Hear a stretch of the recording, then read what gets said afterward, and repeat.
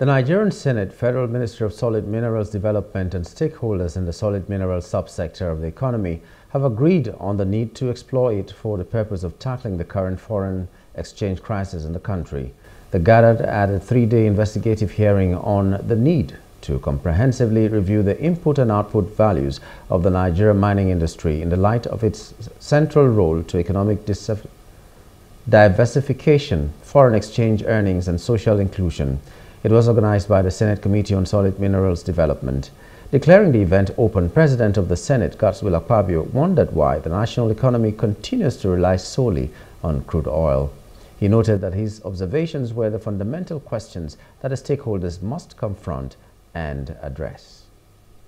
So today, we are gathered here with a shared purpose to ask the very tough questions and seek answers, those that will shape the future of this great nation, and liberate ourselves from the shackles of oil dependence, and even liberate ourselves from insecurity caused by illegal mining.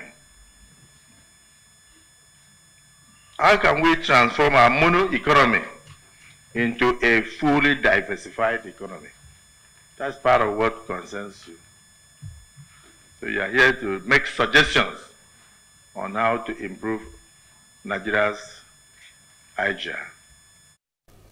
In his remarks, Minister of Solid Minerals Development Dele Alake said the reason that the forex problem remains was because the nation is dependent solely on oil hence there was a free flow of petrol dollars.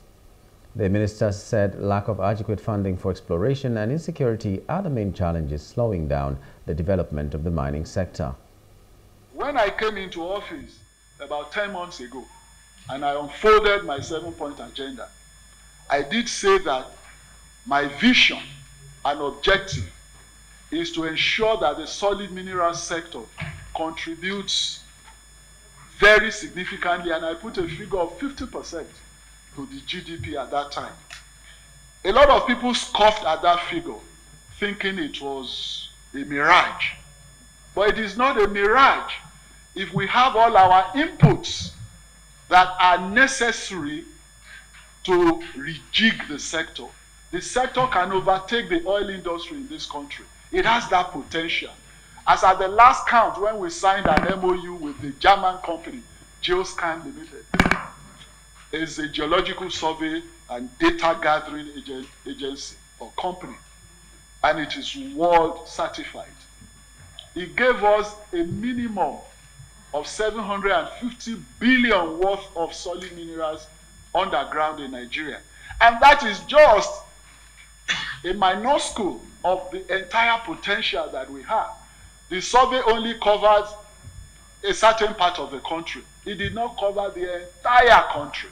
So you can imagine when you extrapolate, if we are having a potential $750 billion worth of solid minerals, in just you know a small segment of Nigeria, imagine what we will derive or what we will find if the survey covers the entire length and breadth of Nigeria.